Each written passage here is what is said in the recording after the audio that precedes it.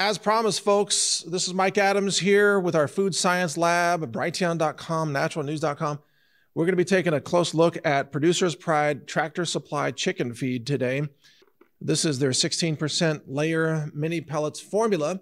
And the background on this story is that some people were claiming that this chicken feed caused their chickens to no longer lay eggs. And there was a lot of online speculation about whether there was something missing from the chicken feed or some contaminant found in the chicken feed that could have caused that problem. So, when that story began to spread, I publicly committed to using our food science lab that we use for all of our products at the Health Ranger store to test this product, this tractor supply chicken feed product, and bring you the results publicly. And we've completed our testing, and I'm going to announce the results for you right here and it is it is interesting, that's for sure. Now today's segment is brought to you by our store, healthrangerstore.com, where we use the same laboratory to test our own products. And we've got chlorella in stock right now over here. Chlorella tablets in bottles, in bags, in number 10 cans here as well. Chlorella is a natural detox supplement. It's a single celled microalgae that's very rich in chlorophyll and it can help support your body's natural detoxification. Find these products and more, all lab tested at healthrangerstore.com. Now, continuing with our results here. So, we went to Tractor Supply and we purchased six products. They are a Purina layer, or I'm sorry, Purina Layena layer crumbles, Flock Party egg maker pellets, Nature's Best organic egg layer pellets, Producer's Pride, which is this product, 16% layer feed mini pellets. Dumore, 16% egg max pellets. And then Dumore, 16% layer crumble. And just for anybody watching from Tractor Supply or Tractor Supply's legal department, uh, the lot number that we have tested for this is 3005 205 205 61YY. 9901-289-4205. Okay, that's the lot that we tested. And I should also mention that the last product here, the Dumore 16% layer crumble, is certified organic, which you'll see actually makes a huge difference. So we tested all six of these products for uh, aflatoxins, which is a rather deadly contaminant that's created by fungi, mold, in the food supply and it can kill animals and it can kill humans. It's very, very toxic uh, if it appears in the food supply. So we tested for aflatoxins, we tested for glyphosate, and we have those results I'll share with you here in a second. And this is in our own laboratory, of course. We have parts per billion concentration results. And then we ran a full testing for all the uh, nutritive minerals as well as potentially toxic heavy metals, such as arsenic, lead, cadmium, mercury, nickel, you know, things like that. And let me give you the short version of what we found, and then we'll go into more detail. So, what we found is, is I think, rather interesting. Uh, this tractor supply product, Producer's Pride, it turns out to actually have more than twice the level of glyphosate than the other products on average, and also looks like about twice the level of aflatoxins as the other products. However, in defense of Tractor Supply's uh, product here, Producer's Pride, the numbers that we found may not be responsible for any lack of egg laying. Uh, that's for some, maybe a, I don't know, an avian biologist to determine. But let me tell you the numbers we found. So for aflatoxins, we found in most, well, the other products, numbers like 1.1 parts per billion, 1.4, 1.5. 1.8 and 1.9. But in this tractor supply product, we got 2.9 parts per billion. So about, about twice as high on aflatoxins. However, that number, 2.9 parts per billion, is well within uh, what's generally recognized as safe by the FDA and the USDA. So, for example, the FDA allows corn with aflatoxins below 20 parts per billion to be fed to livestock, and the FDA says that that's safe, and USDA has similar guidelines. Now, for peanuts, uh, nuts and peanuts have a lot of aflatoxin risk. And so there are rules about being able to export peanuts with a certain level of aflatoxins. And those rules vary from one country to another. In the EU, the limit has been for peanuts, it has been four parts per billion. I think they raised it to 10, uh, if I'm not mistaken. I mean, these numbers are changing all the time. But across the world, different countries, some countries have a limit as strict as, let's say, two parts per billion. And then other countries have limits of more like 50 or even 100 parts per billion. So, this being uh, 2.9 parts per billion, it, it may potentially be higher than some limits by some countries, but certainly not the United States and not the EU. So there's nothing that Tractor Supply is selling here that is, at least for aflatoxins, it does not violate any FDA or USDA guidelines that I'm aware of at all. Uh, is 2.9 parts per billion uh, aflatoxins is that potentially responsible for chickens not laying eggs? I kind of doubt it actually. I doubt it but again i'm not the avian biologist expert. Someone else could chime in on that but it's certainly it is about twice as high as the other products that we tested. So i wouldn't call it you know obviously the cleanest product in terms of aflatoxins. So that's my take. Now moving on to the next potential contaminant glyphosate. Now, glyphosate is the world's number one weed killer, and it's uh, you know it's sprayed on well Roundup Ready crops, and it's sprayed on weeds and so on, and it's used in areas where some chickens feed, and so there's there's a certain amount of uh, glyphosate that's in areas, but also in chicken feed. Glyphosate is used on certain crops. It's used on legumes. It's used as a desiccant and so on. Well, let me tell you the levels of glyphosate that we found in the other products then compared to producer's pride. Uh, in the DuMOR organic product, zero. We detected zero glyphosate. And that's good news because it shows that DuMOR's organic line uh, really is avoiding exposure to glyphosate. That's, that's great to know. Let's see, in uh, Nature's Best Organic Egg Layer Pellets, we found 1.8 parts per billion glyphosate which is an extremely low level, and I personally I would not be concerned about that level. That is an organic product, however, so it would be great if that were zero, but it's not. It's it's 1.8. And then in another DuMOR product, we found 2.5 parts per billion. And then in Flock Party, we found uh, 10.5 parts per billion glyphosate. In Purina's uh, layer crumbles, we found 10.7. In Producer's Pride from Tractor Supply, we found 19.8. So it was, again, roughly, well, more than twice the average of the other products. But then again, this product is not labeled organic. And the other issue is that 19.8, or we could round it to 20 parts per billion, 20 parts per billion of glyphosate in a chicken feed product would not alarm the FDA or the USDA or even EU officials, nor would it alarm probably Canadian officials of any kind. It's not uncommon to see that in, in non organic chicken feed.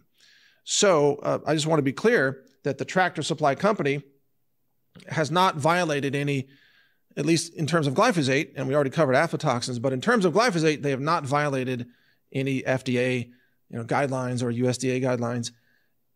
Could 20 parts per billion glyphosate cause harm to chickens and cause them to stop laying eggs? Frankly, I doubt it. I truly doubt it. I don't think that's responsible for the egg laying or the, the lack of egg laying that's been reported by some people. Uh, then again, if you want to reduce your chicken's exposure to glyphosate, you should buy organic. Uh, all the organic products are, are significantly lower. And also, by the way, if you have backyard chickens like I do, you want to let them, you know, free range and feed, eat weeds and little bugs and what have you, scorpions and such. Uh, don't use glyphosate on your farm or anywhere on your property because that glyphosate will end up in the chicken eggs and the chicken meat. If, if you eat your chicken meat, just stop using these products and it won't end up in your chickens. Uh, in any case, also buy organic if you don't want to have exposure to this in your chicken feed. All right, next we tested this for heavy metals. And uh, in addition to heavy metals, we also tested for uh, nutritive elements such as magnesium and potassium and so on. So let me just go through some of the kind of interesting results in this realm. And, and this testing was conducted via ICP-MS, by the way. It's another type of mass spec for elemental analysis. So we tested for aluminum, and of course, there's aluminum in all the products we tested. It's a very common element in any kind of feed. And the producer's pride product actually had among the lowest levels of aluminum. So if you consider aluminum to be a, a contaminant, even though it's in everything, I mean, it's in all food, uh, it's, it's not high in Tractor Supply's product at all. Potassium we tested, and Producer's Pride here had the highest levels of potassium, about 30% higher than all the other brands, which is interesting. So whatever they're doing, they're getting a lot more potassium, which is, you know, good nutrition. Let's see, we, we tested vanadium, chromium, uh, what do we have here? Iron, nickel, not any crazy weird results in any of that. Let's see, zinc, they all have a good amount of zinc. The Dumore had the highest zinc levels, which is good for chickens, but you know, too much zinc can be a bad thing. Then we tested for arsenic, a toxic element. And arsenic in water wells is, believe it or not, the number one cause of cancer around the world. But that's arsenic contaminated water wells where people are drinking a tremendous amount of water that has, you know, inorganic arsenic in it. And by the way, our test did not distinguish between organic versus inorganic arsenic in this case. But just from an elemental level, the tractor supply product had uh, 179 parts per billion arsenic, which is not much. It's not unusual to see that. Uh, the Dumore product, the non organic Dumore, had almost 900 parts per billion arsenic, which is also not necessarily alarming by itself either. The other products had uh, 379, 268, 137, and, and so on. So, arsenic no major red flags there. Let's see, strontium, which is also, it's very important for uh, healthy eggs. The highest levels of strontium were found in the flock party egg maker pellets at about 79 parts per million, which is within a normal range and is, is important for chickens.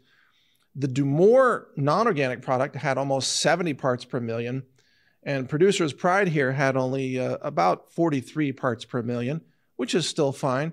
It's within a normal range. Let's see, none of them had silver. Dang it. Um, it'd be nice to get free silver from your grain. Uh, let's look at cadmium. There was a very big difference in cadmium, and uh, this surprised me quite a bit. Now, Producer's Pride, this again, the tractor supply product, actually had the lowest levels of cadmium of all the brands that we tested only 74 parts per billion, which for cadmium is, you know, acceptably low. Now, cadmium is not nearly as toxic as, let's say, lead. So there's a little more leeway when it comes to cadmium in foods.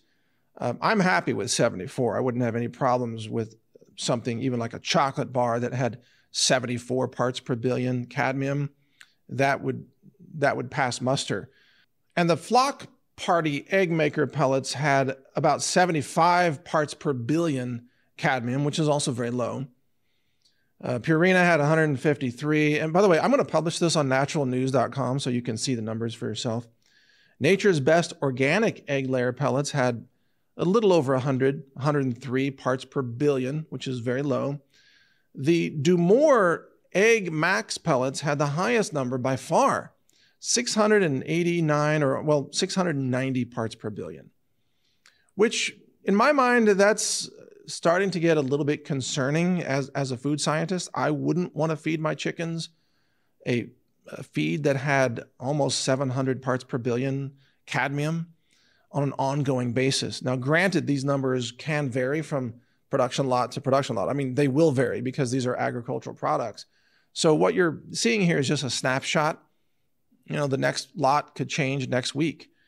But when I see something getting close to one part per million cadmium, which is what I'm seeing in the Dumore product, you know, I, I would maybe look at changing changing the feed.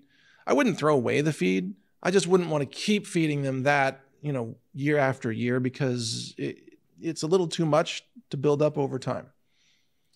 Uh, let's see. Cesium, all normal. We tested for mercury we found zero mercury in all the products. That's great. No mercury whatsoever. That's good. We wouldn't expect to see mercury. If we do see mercury, something's really wrong. Someone's been dumpster diving, you know, in the uh, industrial irrigation stew if they have mercury in their product, but fortunately, none of these products had mercury. All right, now lead. Uh, we test for different lead isotopes, and, and I'm reading from the lead 206 here, by the way. That's the atomic mass of this isotope. Uh, lead numbers for Producer's Pride from Tractor Supply, the lead was, in fact, the lowest of all the brands that we tested, about 114 parts per billion, or you could say 0.1 parts per million. Uh, that's a that's a pretty low number.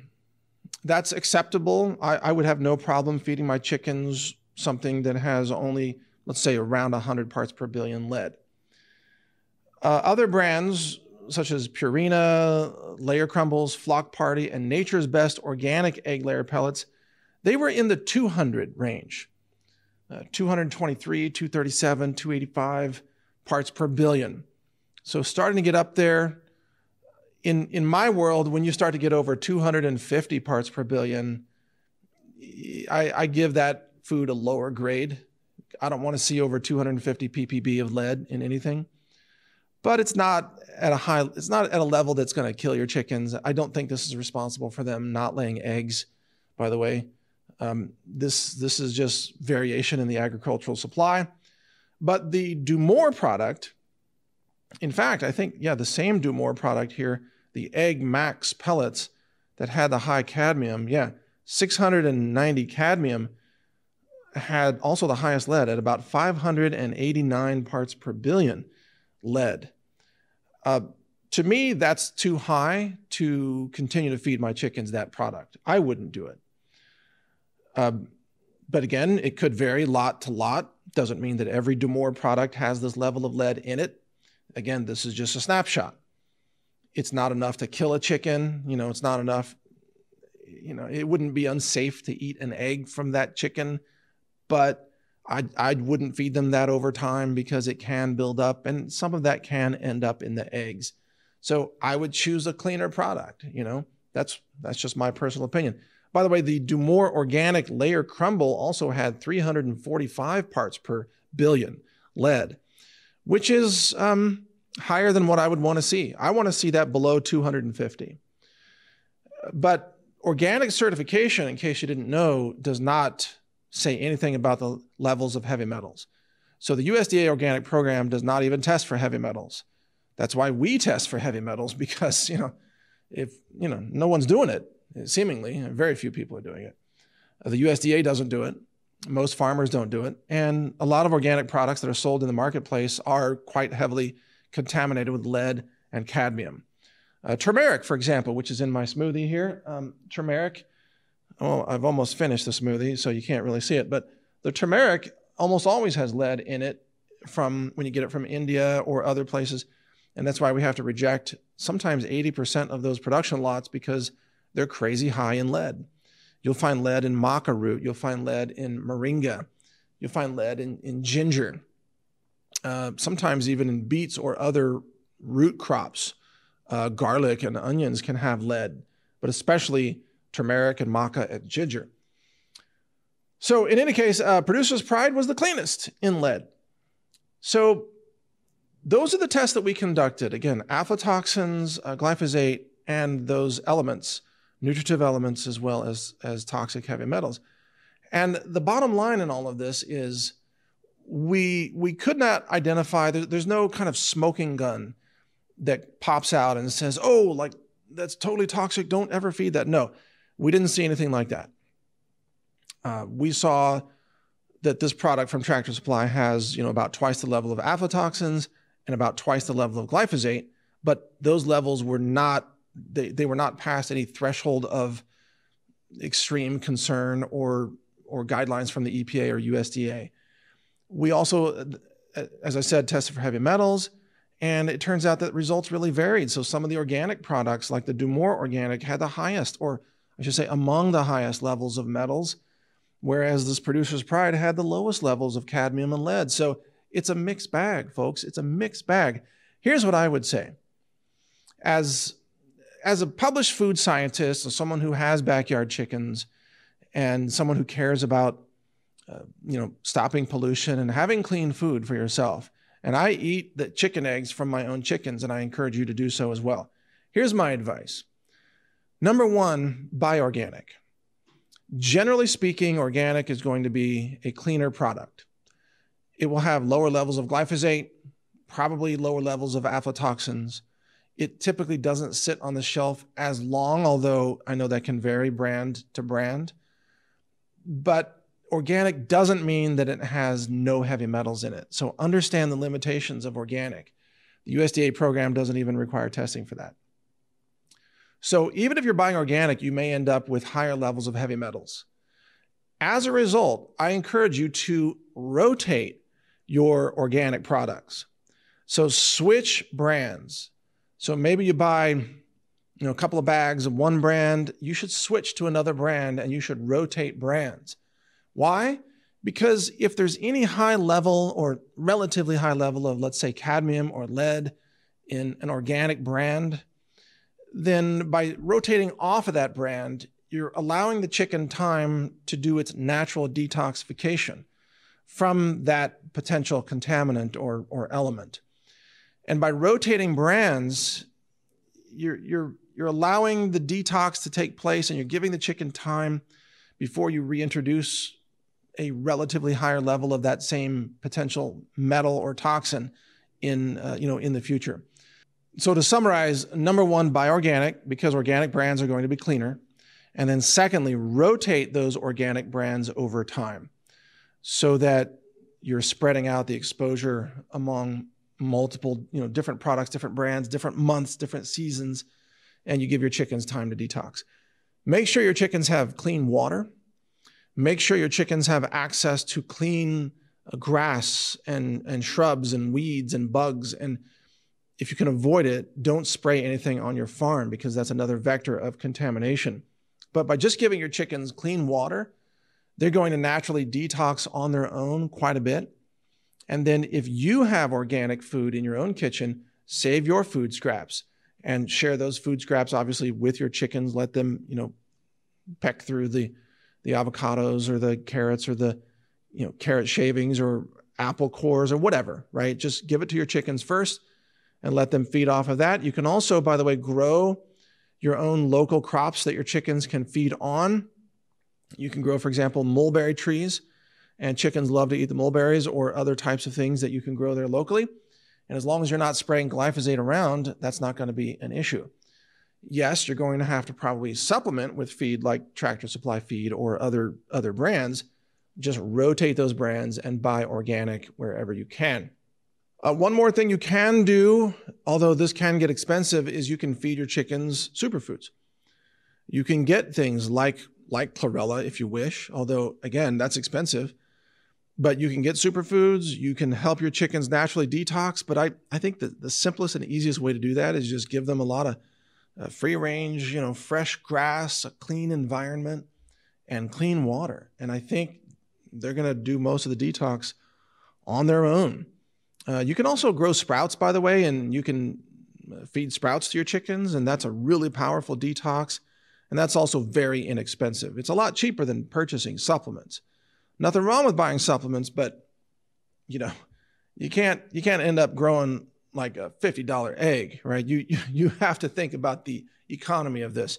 So sprouting alfalfa sprouts or broccoli sprouts and then feeding some of those sprouts to your chickens, that's a really economical way to get them lots of chlorophyll, and lots of good nutrition.